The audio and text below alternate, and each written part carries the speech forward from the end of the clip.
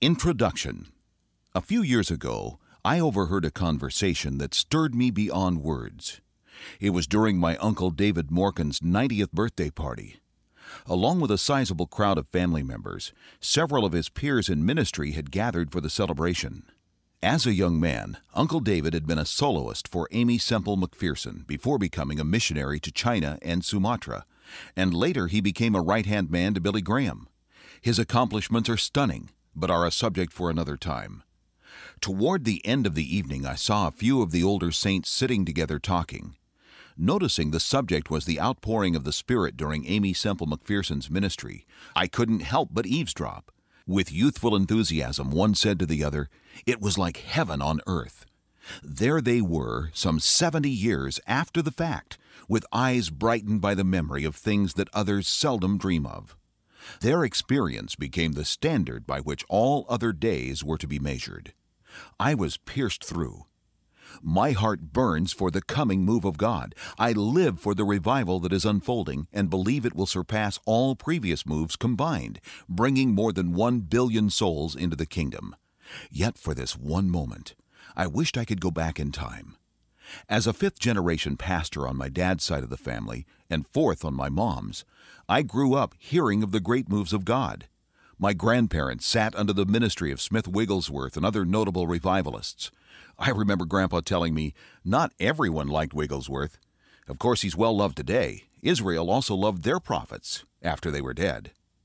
Grandpa and Grandma Morgan received the baptism in the Holy Spirit in 1901 and 1903, respectively, and they loved to talk about what they had seen and experienced. They've been in heaven now for over 25 years. I only wish I had another chance to hear their stories and ask them the questions I never had asked as a young man. It would mean so much more to me now. The quest described in this book began in me many years ago.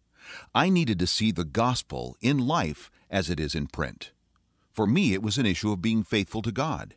However, it quickly became clear to me that such a pursuit was costly. Many misunderstandings come when we pursue what others ignore.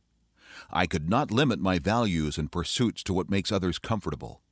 Being possessed by a promise, I live without options. I will spend the rest of my life exploring what could happen through the life of one who is willing to cultivate the God given appetite to see impossibilities bow to the name of Jesus. All my eggs are in one basket. There is no plan B. And it's from this posture that I write.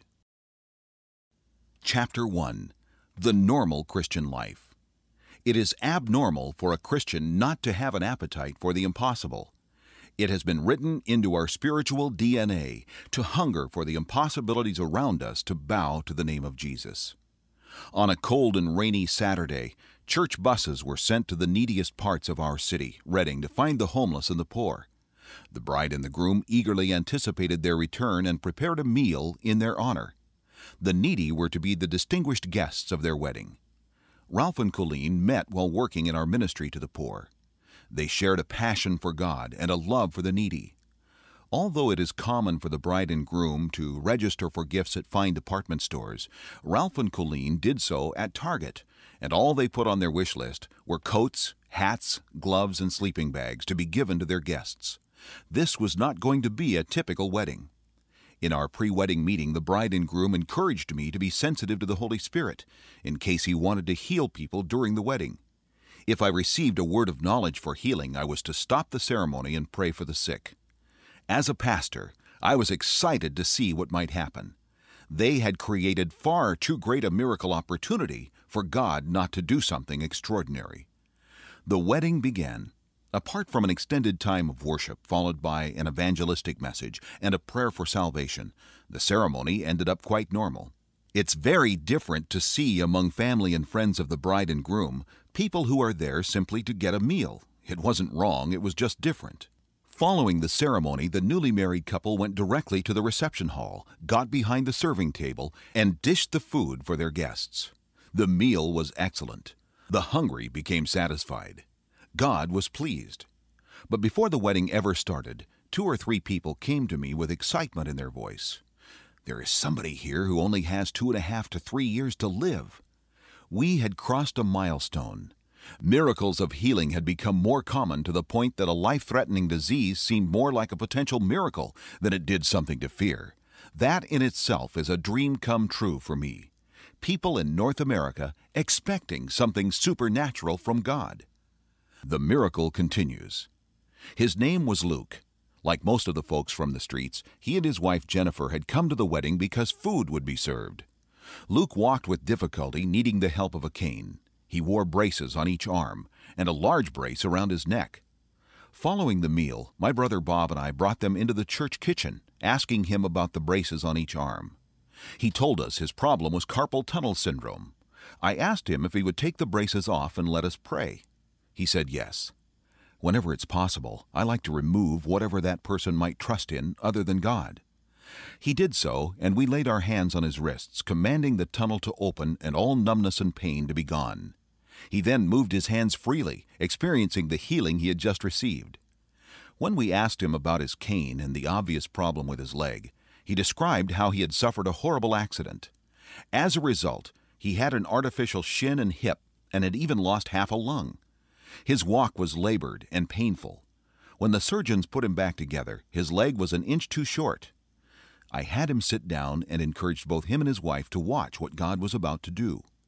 I held his legs in such a way that they could see the problem and would be able to recognize any change. We commanded the leg to grow, and it did. When he stood, he shifted his weight from side to side almost as though he were trying on a new pair of shoes, saying, Yeah, yeah, that's about right. The response of the unchurched is very matter of fact and very refreshing. I asked him to walk across the room, which he did gladly, without a limp and without pain. God was at work. He replaced one inch of missing bone and removed all the pain caused by Luke's accident. Next, we asked about Luke's neck.